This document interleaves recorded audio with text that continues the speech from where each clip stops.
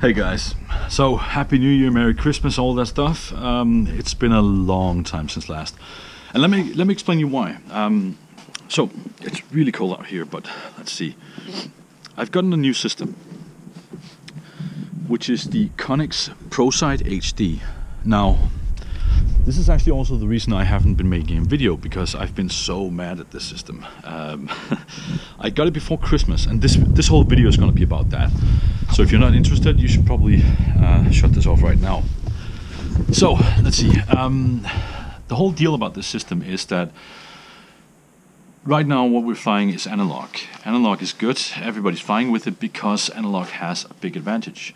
The big advantage is that if you're flying, let's say you're flying behind that container and you get static on the screen, as you're losing your signal, you get more and more static, which means that you have an idea that the signal is going bad. So you can uh, turn around and you can go back with a digital system, um, unfortunately, you, you, can get some pixelations if the signal goes bad. But in most cases, it will probably show you some pixelation, and then it will just freeze the, the image or something like that. So it's it's um, it's much much harder to actually. Something is dripping on me. What the fuck? It's actually much harder to uh, to fly safe, I think, on this um, because you could go from having a really good signal to just suddenly having absolutely no signal. Um, so I was a bit worried, worried about um, ordering and using the system, but I did anyways. I received it before Christmas. To make a long story short, I went out the first time, couldn't find the HDMI cable that was supposed to be included in the box because you're using an HDMI cable from the box over there to your glasses. Um, so I used one of my own came out here, set it up, and I flew um, about 30 seconds and then complete blank screen. No pixelation, no warnings, no nothing, just a blank screen, a black screen, and I crashed. Um, which was annoying because one of the the only things that could make this system a no-go for me is um, if something like that happens because then you just don't trust it you don't want to fly with it you don't want to be going 140 kilometers an hour in a turn and just black or you know that would be bad um, so that, that worried me a bit. So I drove home. I got another HDMI cable because I figured the one I had picked out was three meters long. It could be the length, it could be the quality of the cable. I took another one, went out, and uh, after about 40 seconds, the same thing happened. Um, I then wrote the company I bought it from, and they said that the box does have an HDMI cable, and I have to use that one. So I looked at the box, and in this weird crease underneath where nobody's looking, there was an HDMI cable. So I'm an asshole. Um, took it, and then a few days after Christmas, went out again, hooked it up, and I flew um, maybe a minute, and then suddenly black screen again. And at that point, I was up in the air over there, and um, there's a field below with like you, you know you never find your quad if it goes down there. So it just went black took off my screen, uh, my goggles, and I had to manually uh, fly it back.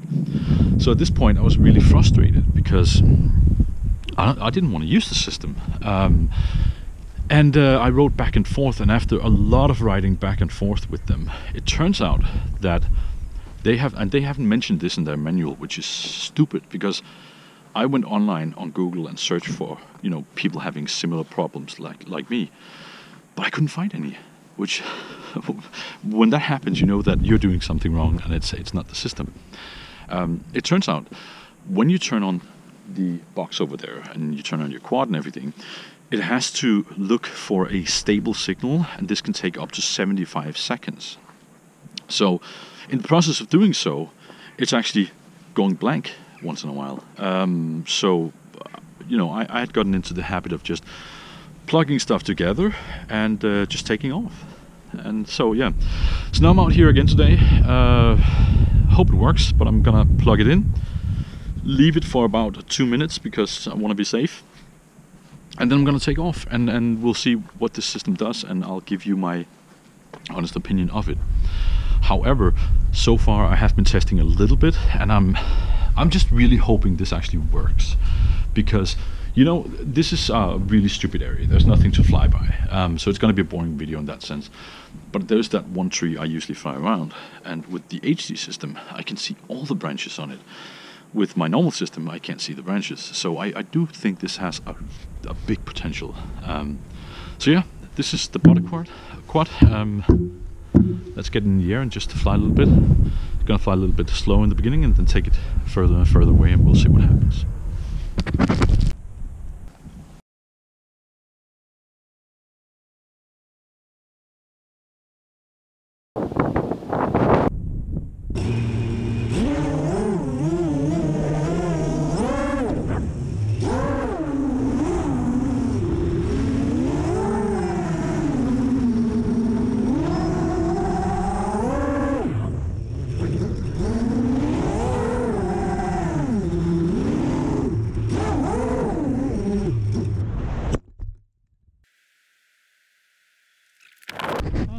First test. So um, yeah,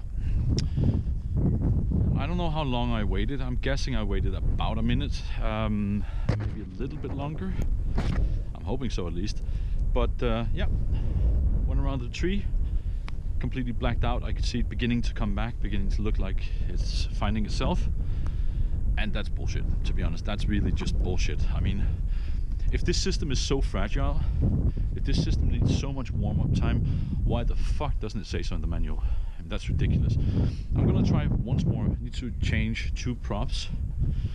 Gonna try once more, give it two minutes on a cold boot, and if it doesn't work, I'm gonna demand my money back. Uh, even if it works, I'm still like warming up for one and a half minutes. That's a long time. That's a stupid ass long time for a system. Let's see. Okay, so just change the props. All facing the right way, that's correct.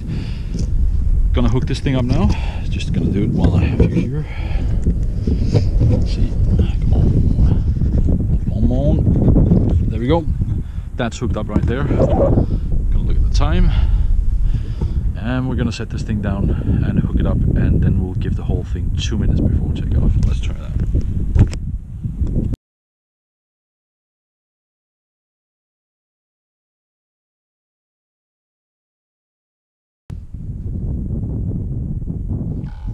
So, just to be safe, we're at 2 minutes and 43 seconds now.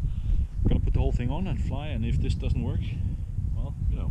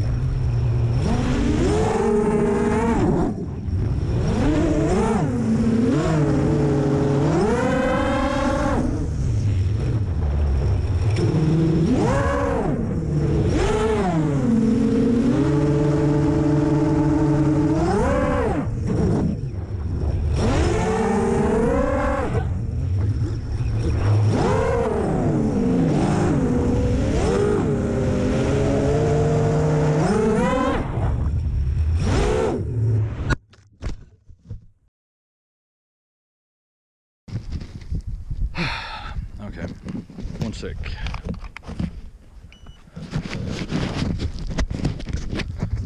Now, so I'm sorry about this long video, but I want to do this in all in one cut because one of the things they asked me about um, with this system was they asked me to film, you know, from uh, from the camera's HD feed so they could see what was happening. But as I told them, I can't do that because on the Fat Sharks you cannot record the HD output. Um, because you have an HDMI in for the glasses. And I don't have a DVR for it because the DVR for this one has to be a special DVR. You can't just buy something that all of us already have, which is. This is pissing me off. Um, the small black screens we all have, or well, a lot of us have, where you put an SD card in and record, you can do that normally, but this system here is its own protocol. It goes through an HDMI cable into the Fat Sharks, which means that on my TBS Tango, I'm not able to record this or even uh, get it. On my Fat Sharks, I'm not able to record. Okay, so this is one of those days where everything goes wrong. Um, yeah, this this is ridiculous. Now, as I was saying, um, when I asked the guys I've bought it from, uh, which is Globe Flight in Germany, when I asked them about this system, uh, you know, and told them about the problems I had, they contacted ProSight, who in turn said that I had to record the uh, the live feed. I can't record the live feed because it, I need like a hundred euro or a hundred US dollar thing to put in the loop between the their box and my glasses in order to record this. I'm not going to spend that kind of money because I wouldn't, I won't be using that system for anything else, uh, which is ridiculous that they're asking me for it. But on the other hand, I, I don't, I don't know. They're also asking me if I can send the whole system back. But the thing about this system is, there's no way in hell that I'm going to be using this now because I waited two minutes and 40 seconds you know, um, when I put in my VTX, my normal VTX, no matter what brand it is, I can fly. On some I get better range, better reception, better, better, um, you know, penetration. Um, on this one, I don't know, I just get frustration. I mean, I was flying, I'm standing right here, and I was flying over to that tree over there, which is what? What is it, 15 meters away? And yeah, these two are online. And yes, there's a house there, but it's not actually blocking. But this shouldn't be a problem. This is really normal. This is a normal scenario for anybody. Uh, so, you know, it just doesn't make any sense to me. And regarding the quality and everything in this, um, now I know I said that it's it, it's well worth it, and I'm hoping that it's it's gonna work because I really want to use the system, and in some some part of me still do because stuff like the sun, like for instance, we have the sun up there, which you guys probably know. Um, with a normal camera, it can wash out stuff, it can get darker and everything. On this system, that was actually brilliant. I could basically fly towards the sun without anything happening. Um, I feel I can see definition much more. I can see all these branches here when I'm up in the air. And you have like two options on the ProSight. You have the HD, which is only 30 FPS and has a little bit of lag. You can fly with it, but it's not really good. It's good for filming maybe.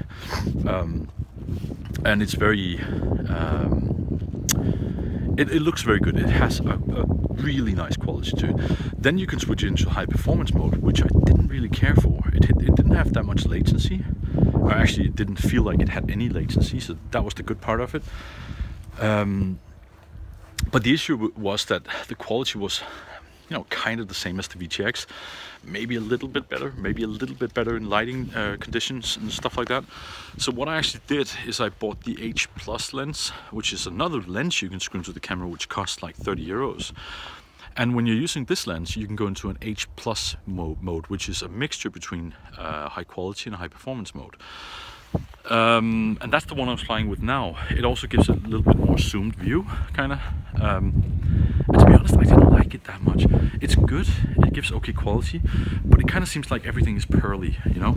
There's, um, yeah, I, I, don't know, everything is just a little bit pearly in a way. It's, it's just a little bit, not fussy. It's both fussy and sharp at the same time, I don't know. Too bad. Long story short, I regret this purchase and um, you know I'm a, I'm a pretty tech guy. I can I can figure most things out. And I bet that there's something with this that I could have done differently. But if you look at it let me show you this if you can. See this? If you look at what I've actually done here it's quite nicely integrated. There's, there's like nothing really bad with it.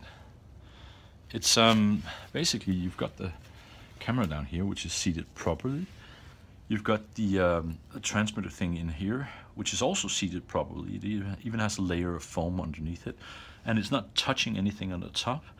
All the wires are set in a way so that they don't bend. Um, the antenna is actually in the correct angle. Um, everything is just right. So I will be returning it, um, and it's a shame. I, I was hoping that this would be the next big thing and I'm guessing for some it is and I've, I've I, as I said I cannot find anybody else online who has the same problem as me. Um, or the fact is that a lot of people have these problems and they shut up about it and they resell the system. I don't know. But for me it's not working. And I'm not exactly in a very Wi-Fi you know saturated area. There's nothing out here creating interference So there's absolutely no reason why this this shouldn't work good. Uh, and we're not talking about losing a signal at 150 meters out behind something. We're talking about losing the signal at about 20 meters out. And this is even when I put this whole thing here in 200 uh, milliwatt mode, because standard in EU it goes 25 milliwatts. Um, it's on the auto frequencies, which means that everything is automatic. It should find the best frequency. And again, you know, maybe I could do it with setting a fixed frequency, but to be honest, that's not why I bought the system. I don't want to be scanning the area and finding the right frequency. I just want to fly. So if the system says it's auto, it's got to be auto, you know?